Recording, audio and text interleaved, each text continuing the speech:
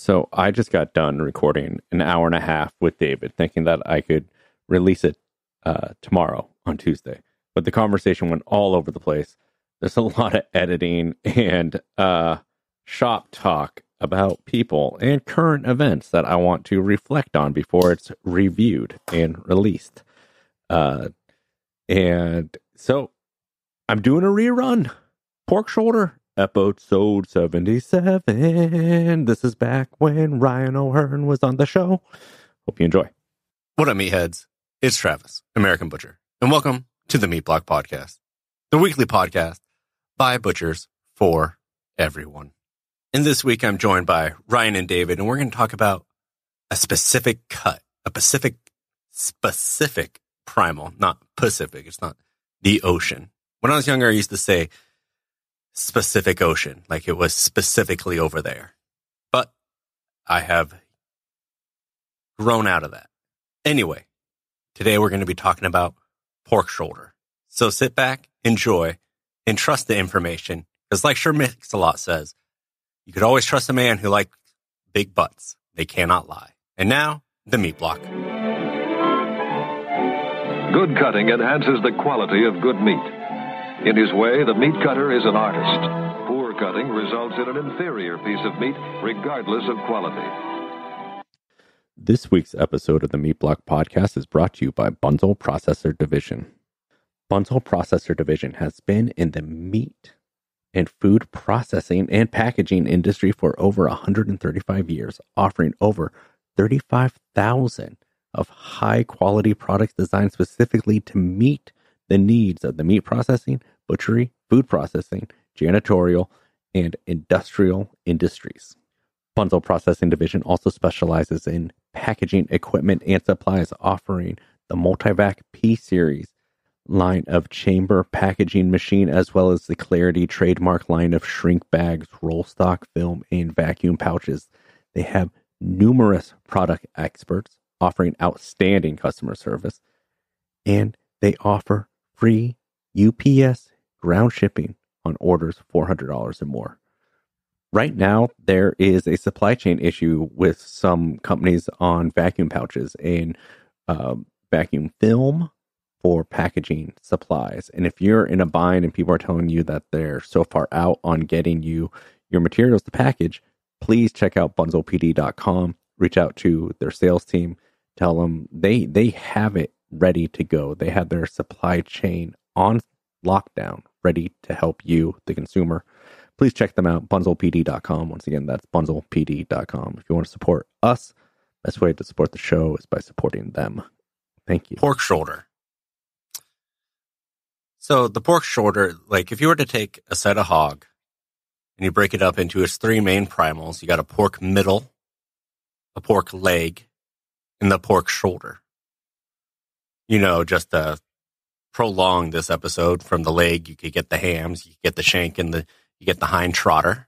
From the middle, you could get the belly, the loin, the center cut, and the sirloin, or the rib section. From the shoulder, you could break that up into two pieces, and you got the picnic and the butt portion of the shoulder. And like you may have gathered from my intro, we will be using the sexual innuendo to describe the pork shoulder of butt many times. So if that makes you feel uncomfortable, that's good.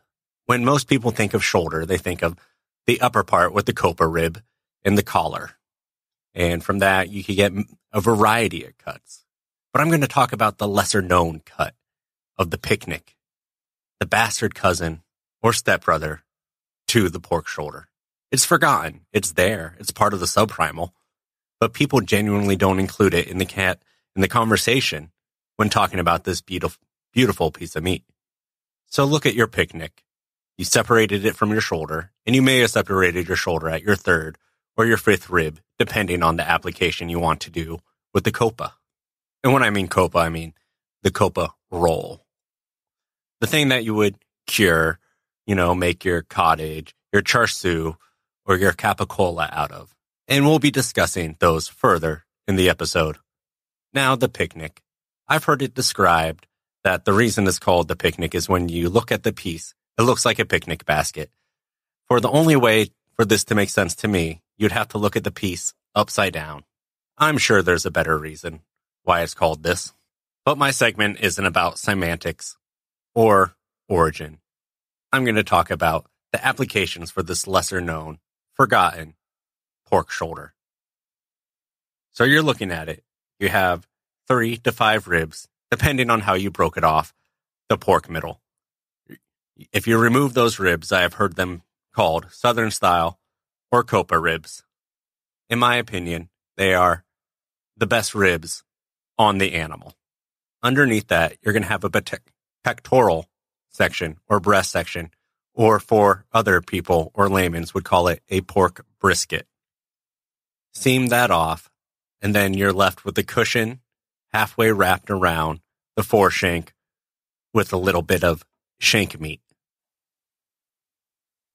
Assuming that you smoked your copa ribs, one thing you could do with your pork brisket is season it, truss it, and slow roast it. Just like you would a beef brisket. The longer, the colder, the better. Get the temperature to 190 or 207 and season it to preference. It is a beautiful cut. It looks great in the case when it's trussed, seasoned, and scored. Now, that remainder piece, that bone in cushion. So you could smoke that, you could brine it, and that could be your picnic ham, which is a great substitute if you're finding that you're selling out of your regular ham. For this, I would inject it to 15% with sodium nitrate at 0.25 for every kg. Rub it and season to flavor. And if you don't have access to a vacuum sealer or a tumbler, rotate it in a tote for seven days. If you have access or access to skin on pigs, this would be preferred. And this makes a great bone in ham or ham substitute, picnic ham, for about maybe three to four people. You could also remove the cushion. And if you're confused by that terminology, people call it the cross rib or clod if this was a beef cut. Take it off, remove the silver, and you could inject it to the previous mentioned steps at 15% to 0.25% sodium nitrate. Rotate in a lugger for about a week or vacuum seal or tumble. You can net it and hang it and smoke it.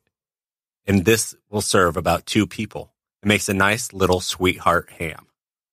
If you're a whole carcass institution or running a small shop and you have access to these, no, you're not going to feed a terrible amount of people with it. But what you can do is spark conversation with people saying, what's that? The cushion is also very lean and can be cured and presented as a dry or semi-dried product in a charcuterie case. Just make sure all available water and pH are within the limits of your program. And if you were to bone out your picnic, that little bit of shank meat on it, or trim four, as I like to call it, makes good emulsification, or you could take out the heavy chunks of cartilage and add it to your sausage. The percentage on this trim is about 90-10.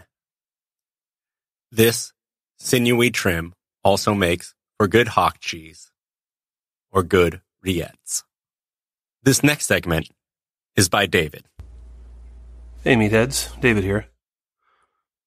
When I began managing the plant that I currently work at, I inherited a few different messes that I had to clear up. One was personnel related, which I've talked about before at length. And another was the freezer situation. Now, if anybody out there works in the cut and wrap, you know what a what a dire and critical situation freezers can be for a small processor. You know, running out of room, old product kind of getting lost in the mix, things stacking up um, that you don't really have any use for, but you keep anyways. You know, it's hard to keep the freezer straight, clean, clear, and organized. And it hadn't been for a long time when I started managing. Um, and so it's been kind of a long job. It's been a long project, and we finally just recently got it done. While I was inventorying all my pork cuts, you know, just seeing what we had, what we were going to need for our next round of hogs that we harvested um, for ourselves. And as I was digging through the various freeze trays that were behind other freeze trays, behind other freeze trays, I came upon one tray that had, you know, two to three pound pork shoulder roasts, bone in, packaged, you know, and there's probably, I don't know, 30 of them in there, let's say, about 100 pounds of meat. So I thought, well, I don't need any of those. So I kept looking, sorting product, and I found another tray pork butts and another tray of pork butt roasts. And then one freeze tray of whole pork butts. And I just wasn't sure why we had so many. So I went out in the front and kind of looked at the retail case and we were full. The pork butt roasts were all full out there. And I, I was wondering what was up with this. So I went and talked to the owner and um, we kind of discussed what pork products moved and what didn't. And pork butt roasts, just, we can't sell them to save our lives for whatever reason, no matter what the season. Sell a little bit more in winter um, because people see those as like a low and slow crock pot sort of thing, but we really can't sell it, which is kind of strange to me because everybody out west is into smoking, you know. Everybody's got a smoker or like a like a sidecar smoker or uh, a green egg or they just grill over wood chips. Just everybody is doing low and slow barbecue out west. I felt like, and in Chicago too, everybody's doing low and slow out there. Um, but for whatever reason, in our community, people just don't slow cook barbecue. Everything's quick. Everything's on a, a super hot grill, or it's in a crock pot, and you know it's 95 degrees and 90% humidity humidity here right now, so nobody's cooking in a crock pot and I'm not sure why, but barbecue just isn't very popular. So that's why we're not selling pork butts. I think one of the main reasons is most of the people around here are either farm- farmers, uh, construction laborers, or contractors. Just people that generally work super long hours and just don't have time for long and low meals. I mean, when I lived in a different sort of community, when I was living in a city, I was part of a barbecue club and we'd all get together and drink beers and cook meat all day and it took forever and it was fun but this that's just not the sort of thing that happens around here because everybody works i don't know 60 to 80 hours in this area and so i think it's just not really part of the culture. So uh, i've got to figure out how am i going to how am i going to merchandise these pork butts? Am i going to rework these ones? Or am i just going to try to sell them and move forward? Um, when you rework a product as per our HACCP plan, uh, the product can only be 20% of the total weight of the new product. So, for instance, let's say I've, uh, here's an example. I made hot dogs not that long ago and I forgot to put salt in them because our certified organic spice blend doesn't have salt in it. Our, our non-organic does have salt. And it was the first time I had made organic hot dogs. Didn't realize there was no salt in it. Made them it was 100 pounds. It's a bummer, right? So, as per our HACCP plan, not more than 20% of the new hot dogs that I would make with those wrong hot dogs uh, can be the old product. So, if I've got 100 pounds of unsalted hot dogs and want to mix those into a new batch of hot dogs, I've got to make a 500 pound batch. So, that's not going to work. You know, I've got probably 300 pounds of pork butt. So that means that if I'm going to bone, if I'm going to thumb, bone those out, maybe once the bones are gone, I've got 200 and, I don't know, 270 pounds, 260 pounds of pork butt. Multiply that by five, we're talking over 1100 pounds of sausage. That's not going to work. So, whether it be fresh pork shoulder I'm going to be working on, or whether I'm going to recut these and repack them, I need to think about some things. So I don't have a retail space the way that a grocery store does. I can't really do a lot of oven ready, fresh displays. So really my challenge is to figure out how to do these things frozen, how, how to come up with products other than just fresh brats. You know, every, uh, when we harvest 15 or 20 hogs for us, I can't turn every shoulder into brats just because we'll be overloaded. So I need to find some other things, some other, um, freezer freezer ready or freeze stored oven ready foods. Um, or other ways to cut the shoulder. So here's some things that I'm going to try over the next six months and see what we come up with.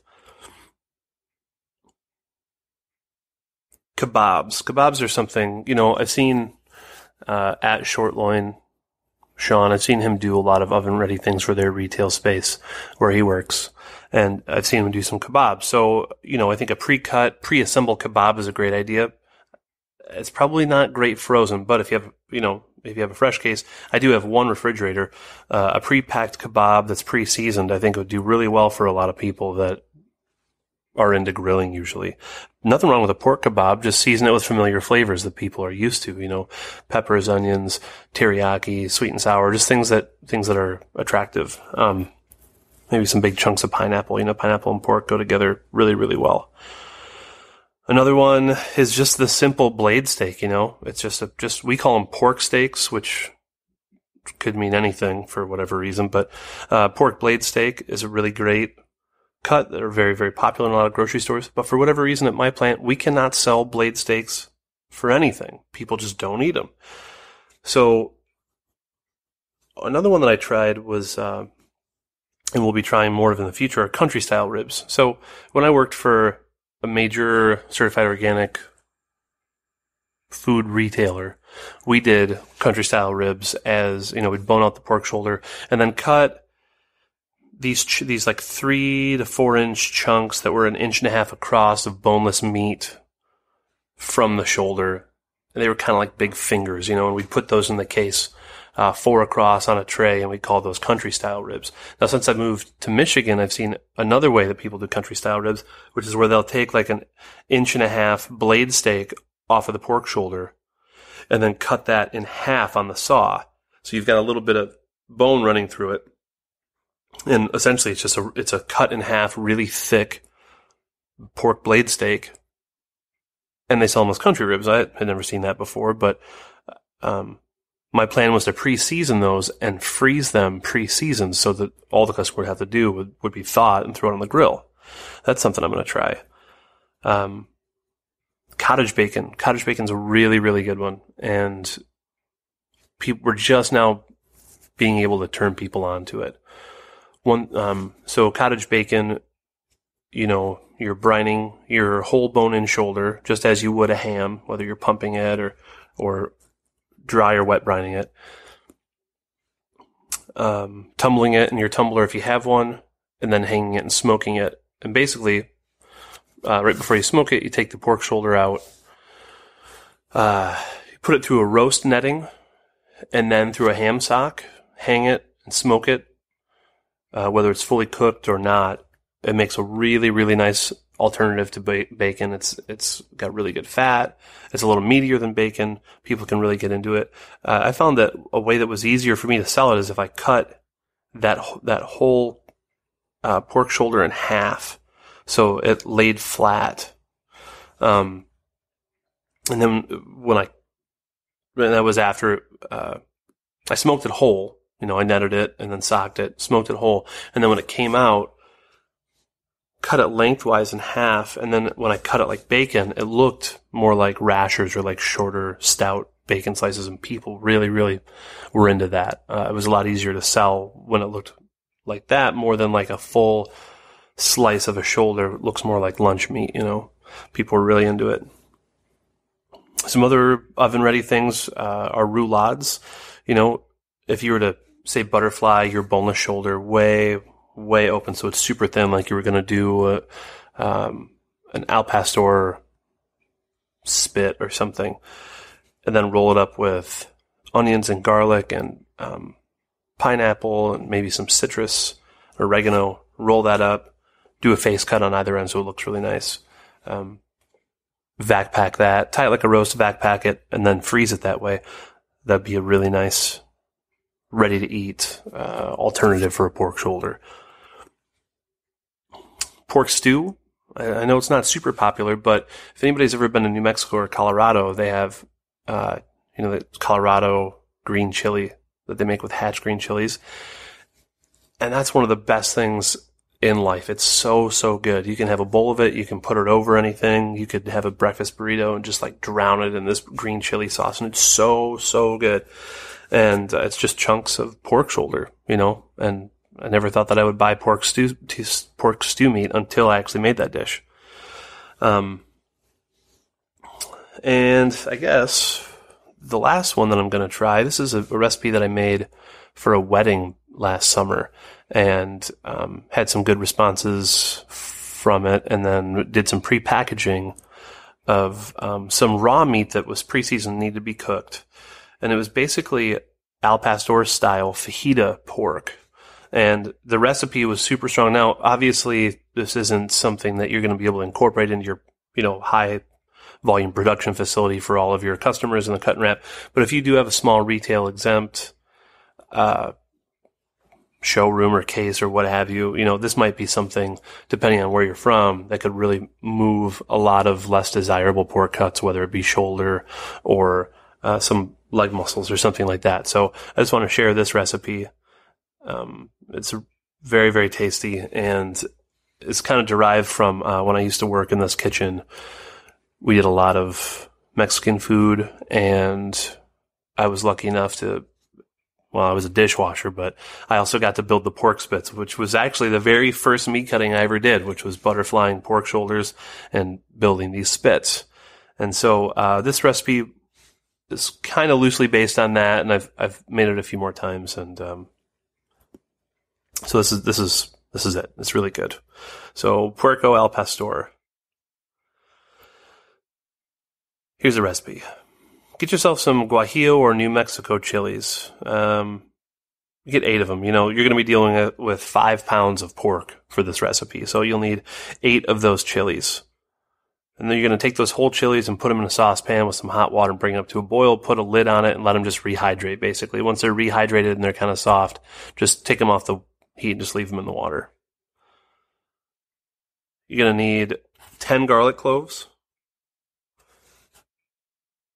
one cup of apple cider vinegar, a half a cup of brown sugar, four tablespoons of sea salt, one medium onion, one zested orange, one peeled orange. So reserve the peel and, and the zest from each of those oranges. Um, a half of a whole pineapple, and then your five pounds of boneless pork shoulder. So you can put the chilies um, with the hydrating liquid from the pan and all the other ingredients in that list into a blender and process until smooth. Um, the next thing you need to do is get three tablespoons of achiote paste. So you can buy achiote paste at your local Hispanic grocery store, or you can make it. Um, if you're going to make it, I've got a recipe for it here. It's really stupid good. It's really easy. Um, there's a couple things that you might have to get off of Amazon or from your local co-op or something, but but it's it's this stuff you could just keep it in the freezer and use it for whatever. It's so good. And so what you need for that are three whole cloves, two whole bay leaves, a quarter cup of annatto seed, which you can find at any Hispanic grocery store, uh, two teaspoons of coriander seed, two teaspoons of cumin seed, toasted, two teaspoons of oregano, one teaspoon of black peppercorn, a teaspoon of salt, five garlic cloves, a quarter cup of apple cider vinegar, one zested lime, and one uh, zested orange. So you're going to put all those spices into a grinder, process them until fine, throw them in a food processor with the the fruit, the zest from the fruit, the garlic and the vinegar, and zip it up into a paste. Now you're going to add that to everything from the the ingredients uh, from the first part of the recipe into your food processor, process it until smooth. Now you've got your boneless pork shoulder. You're going to cut this into fajita meat. All right. From there, you're going to uh, put the pork into a bowl and you're going to cover it with the liquid that you've blended up, the marinade. You're going to let that marinade for at least eight hours, but probably overnight. Now from here, what you'll do is you'll, you'll take it and you'll portion it into one pound packages and vac pack it. And if you have any cooking instructions, basically all you need to do is just dump the packet into a pan and cook it until it's cooked all the way through. And it's perfect for tacos or fajitas or any sort of, you know, pork and rice and vegetable dish. It's it's a super super good one. So, um, it doesn't hurt to package it with some chunked up pineapple. You know, in addition to the pineapple that's in the actual paste, it looks really nice. Um, it sounds like a huge project, but if you make a huge batch of it, like for instance, if I took 200 pounds of this stuff, made a huge batch, it'd last me for probably the entire year. Um, anyways, those are just some different things you could do with pork shoulder aside from selling it to people just for smoking or uh, throwing it in sausage. If you have any capabilities for retail stuff, obviously, if you work at a grocery store or any sort of uh, small butcher shop or a large butcher shop, what have you, you've already got an oven ready program and maybe these could just be some things you tried or you have some way more interesting things that you want to share with the meat block and we'd love to hear. Um, and if you work at a processing facility these ideas might just be for you to take home and share with your family. Um, but yeah if you have any other value added or ready to eat or oven ready ideas for pork shoulder send them our way at uh, at the meat block on Instagram. That's the easiest way to get a hold of us, or at American Butcher, at Gather and Break, or at a Farm Butcher on Instagram. All right, David, that was great. And thanks for that. There's a lot of great information in there. And I certainly learned some stuff and uh, hoped you guys did too.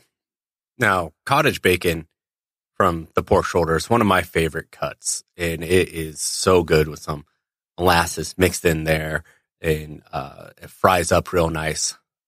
And if you run a cut and wrap facility and you're thinking about, you know, doing some smoking and things like that, just know that when you smoke bacons, when you smoke anything that you could, you don't have to make it ready to eat. You could still use a safe handling label if you only have one packaging room. And then it still encourages the consumer to bring it up to lethality before cooking it, even though you very well may bring it up to an Appendix A during your cooking process.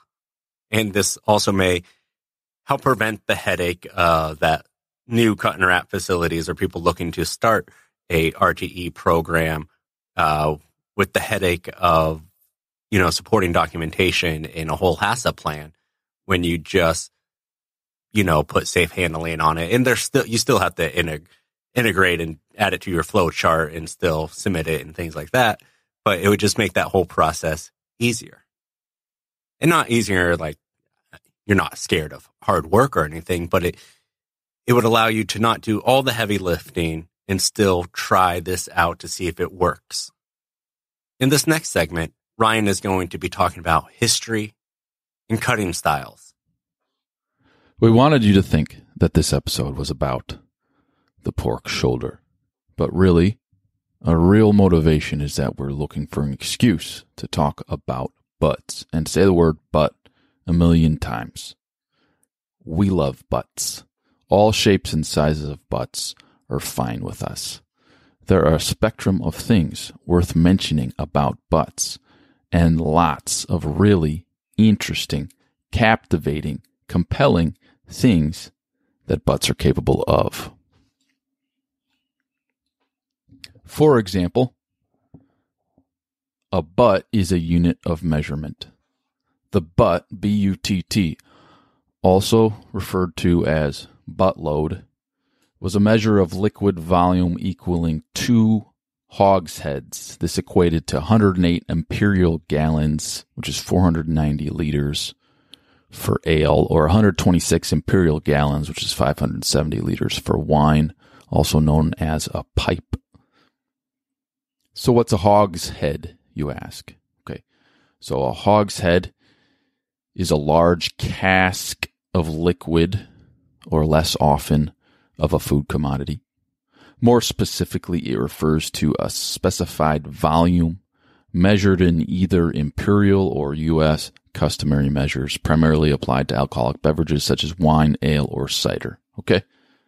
All right, but then there's a tobacco hogshead, which was used in British and American colonial times to transport and store tobacco. It was a very large wooden barrel. A standardized hogshead measured measured 48 inches long and 30 inches in diameter at the head. Fully packed with tobacco, it weighed about a thousand pounds.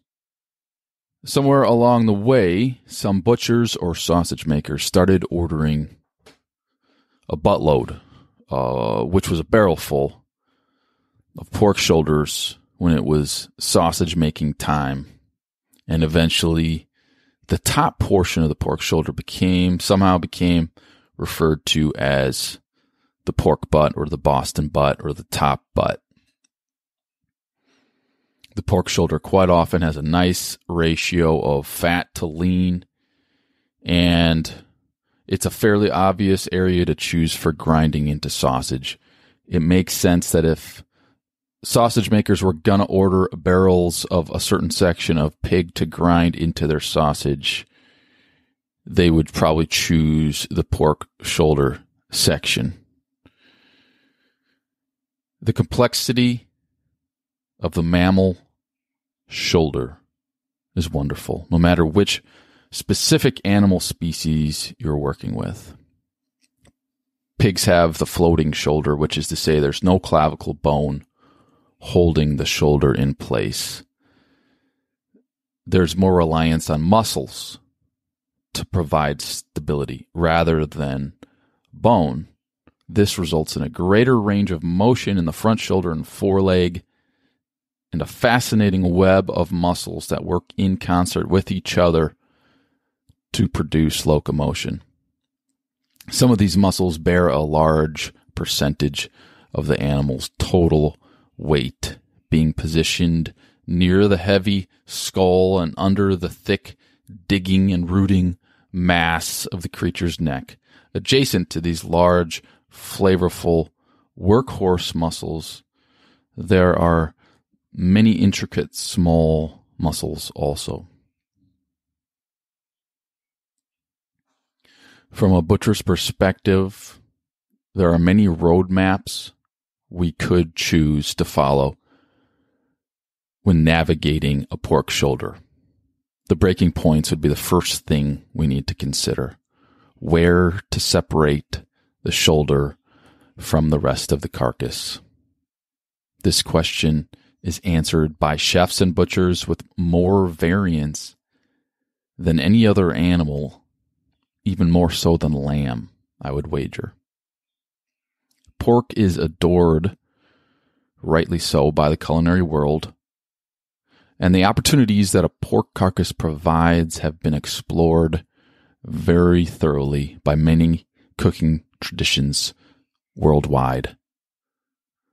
So even a simple question such as where to separate the shoulder and why opens a Pandora's box of possible answers. If the Boston butt section will be utilized for its coppa, that being an Italian dry cure preparation for the upper shoulder, I know many butchers will then choose to break the shoulder after the sixth rib or even after the seventh rib.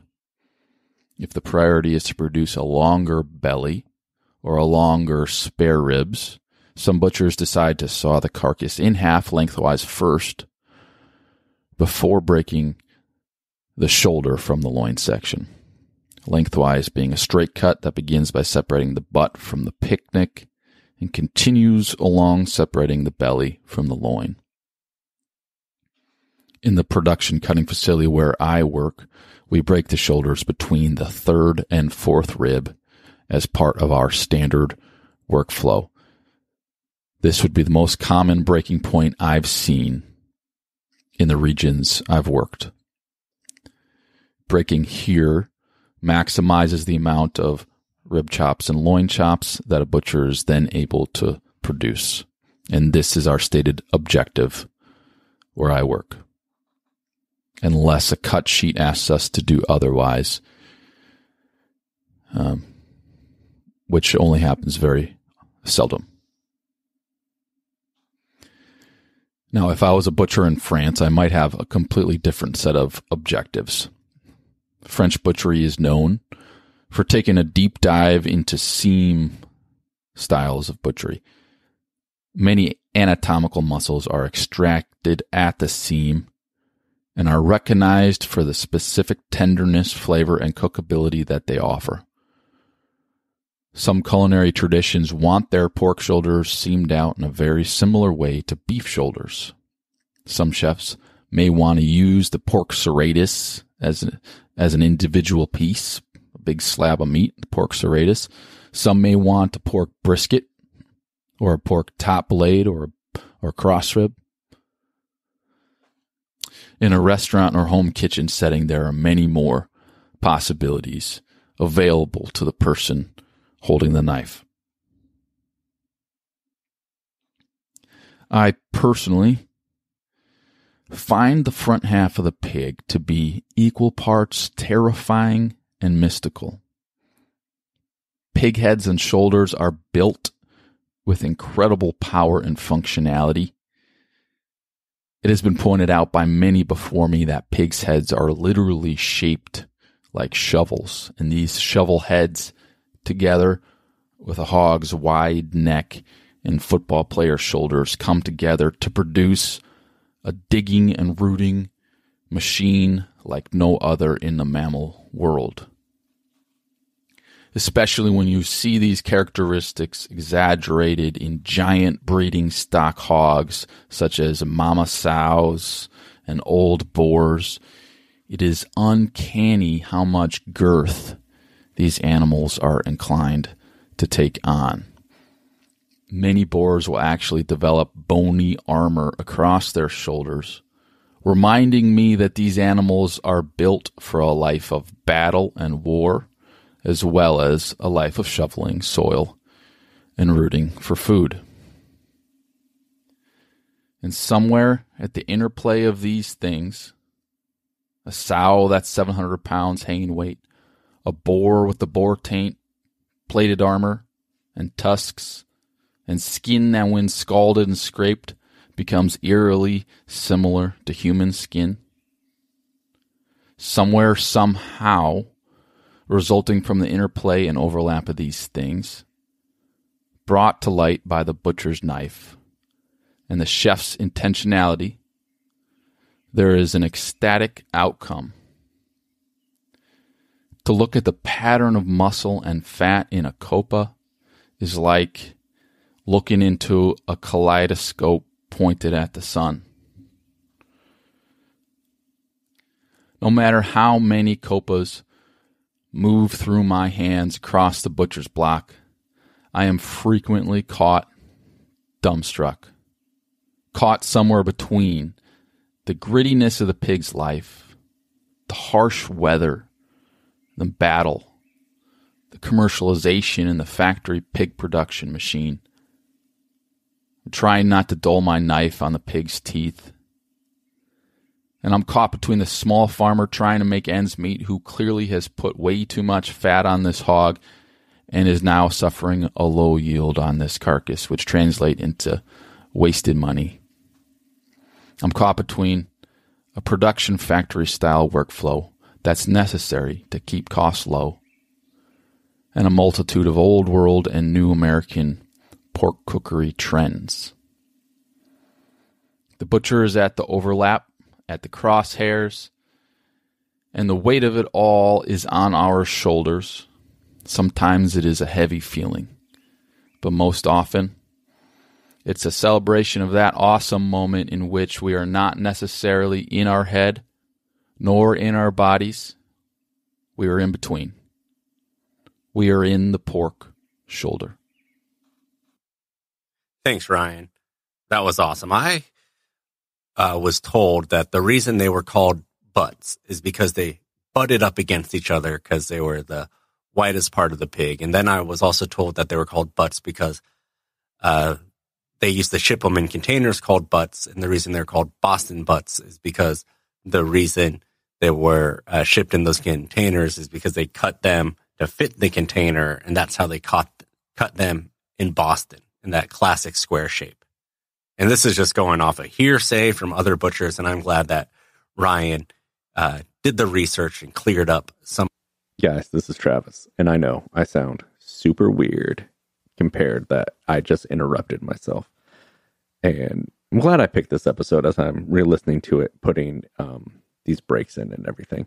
Uh, there's a lot of weird cadence. I think the show has had a lot of ebbs and flows and valleys, and, and uh, I think this was uh, a good stride for us at the time. Um, and yeah, I hope you're enjoying it. I just want to talk to you guys about about bunzlpd.com. That you know they have everything you need for PPE. That's personal protective equipment.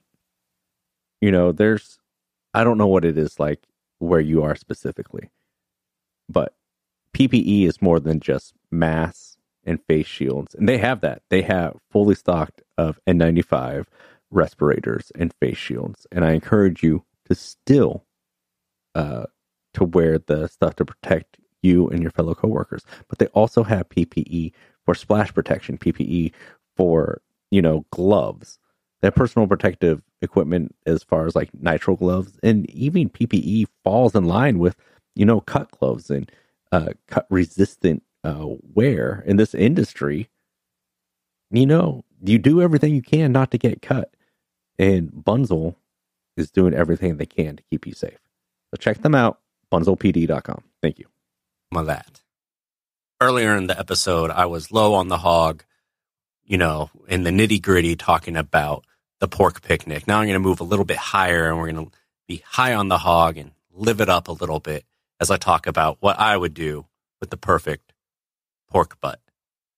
Now, this is going to be for raw applications, uh, so there won't be any smoking device here or curing. But let's say you have a five bone, five, yeah, five rib butt, and you have your picnic removed. You have that classic square shape or rectangle shape. So I'm going to take that rectangle shape and I'm going to take it over to the bandsaw. I'm going to set my gauge about a inch and a half, inch and a quarter, nice thick. And I'm going to cut two steaks off of the rib end of this with the collarbone still attached. And I'm going to, you know, maybe leave the, a tray of those whole uncut. And I've heard them called Kansas Cities this way. I've heard them called shoulder steaks or pork shoulder steaks this way. Uh, and if I were to cut them in half in between the blade bone and the collar, I've heard them called Southern style or country style ribs. Uh, I don't know what the definitive name is. I know it changes from region to region, and I would love to hear what you, the meathead, call them. So I lost about three inches off that back end. What am I going to do with the rest of the pork butt? Well, I'm going to do a heavy, sloppy bone, boning job on that pork collar. I'm going to tray that and hopefully sell that to someone who wants to make a stock or a demi. Because there's tons of rich, nourishing, beautiful cartilage hiding within the nooks and crannies of that spinal column. Now, I need you to shut your eyes as the listener and let me guide you through the next step. So you have your semi boneless pork butt on your block, lean side up, and you're going to first take your knife, find the end of the blade bone, and cut all the way through and that first roast you're going to get is going to be your boneless butt. Now there's no boning there because your collar's already removed and you're cutting at the tip of that blade bone or the uh, scapula. I would sell this untrussed, hoping that it goes to someone who wants to braise it. Now, the next piece is going to look almost like a perfect square. And with the rind still on it, and uh, flip it up, cross hatch it, then truss it. And you can lattice truss it if you want to be fancy. And then take that, cut all the way through the bone, and then cut the rest in half with a handsaw. You're going to end up with three beautiful roasts out of this one piece. One of them, you're boneless. The other two, bone in.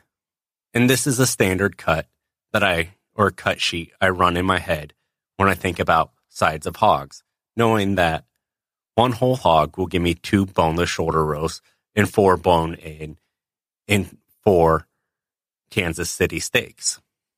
With the number of hogs you get, you could easily multiply, and subtract depending on order in casework. Also, another very easy, beautiful cut you can make out of the shoulder is take it, bone it out completely, remove the rind, and make it into sausage. It is almost a perfect lean to fat ratio, naturally, for sausage. And it's pork, so you don't have to do a deep dive on removing tons of silver skin. Just make sure your glands are out of there, unless you're making a traditional chorizo. All right, that's going to do it for this week's episode of the Meat Block Podcast, all about pork shoulder. And I hope you enjoyed it. And if you want to get a hold of us here at the Meat Block, the best way to do that is by emailing us at the Meat Block Podcast, gmail.com. Tweet us at the Meat Block Pod or Instagram at the Meat Block. And if you head over to our Instagram, we're going to have weekly mini bonus Q and A's posted on IGTV and check that out again. That's at the Meat Block. Also, we have a Facebook group, the Meat Block, where those will be posted as well.